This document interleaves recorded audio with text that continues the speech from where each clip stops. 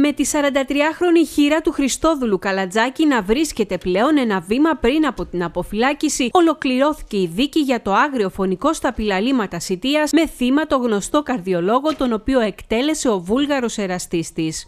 Ασφαλώς και μας αφήνει ικανοποιημένο είναι μια δίκαιη νομικά απόφαση, διόρθωσε το σφάλμα της πρωτοβάθμιας αποφάσεως η οποία είχε αποφανθεί περί ηθικής αυτουργίας, ένα αδίκημα το οποίο τα πραγματικά περιστατικά δεν υποστήριζαν. Οπότε δεν ε, μένει να σας πω κάτι άλλο, ότι, ότι πράγματι είμαστε ικανοποιημένοι. Όπως σας είχα δηλώσει και τότε έχω εμπιστοσύνη στην ελληνική δικαιοσύνη, τα σφάλματα διορθώνονται από τα ανώτερα δικαστήρια όταν τα πρωτοβάθμια εκδίδουν εσφαλμένες νομικά αποφάσεις.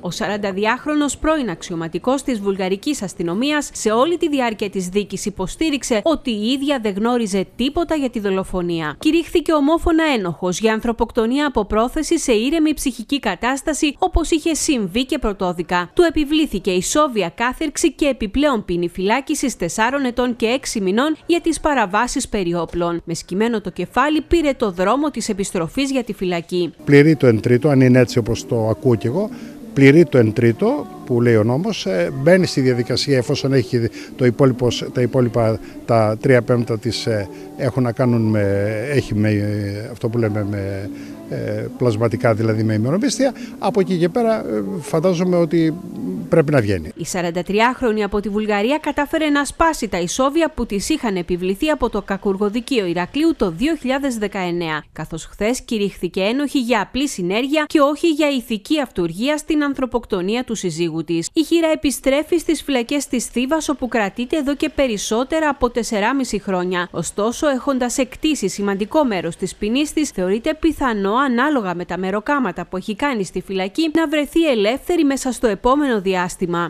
Δεχόμεθα την απόφαση και τα πράγματα όπως έχουν. Και λέμε λοιπόν ότι αν θέλει να κάνει τώρα κάτι, να αντισταθμίσει αυτό για το οποίο ήδη καταδικάστηκε και έχει και μια ηθική ε, διάσταση, ε, να μεγαλώσει σωστά το παιδί της. Να το μεγαλώσει σωστά και να ε, ισοψηφίσει, να ισοφαρίσει, να, αυτό, αυτό που λέμε να αντισταθμίσει το όποιο κακό με τη συμβολή της προκλήθηκε στην σωστή ανάπτυξη του παιδιού της. Ο νομικός χαρακτηρισμός των πράξεων της 43 χρονη συνάδει με τα πραγματικά περιστατικά, παρά το γεγονός ότι για την απλή συνέργεια το δικαστήριο επέβαλε στην κατηγορουμένη τη μέγιστη δυνατή ποινή, όπως επεσήμαναν οι συνήγοροί της με την εκτίμηση ότι σύντομα θα επιστρέψει στο παιδί της, που σήμερα είναι 11 ετών και μεγαλώνει με τη γιαγιά του στη Σιτία. Ήδη έχει συμπληρώσει το 1 τρίτο της ποινής που προβλέπει ο νομοθέτης όσον αφορά την ε, έκτηση της κύριας ποινής δηλαδή τα, τα πέντε έτη. Από εκεί και πέρα πρέπει να γίνει μια επιμέτρηση ευεργετικού υπολογισμού ημερομισθείων,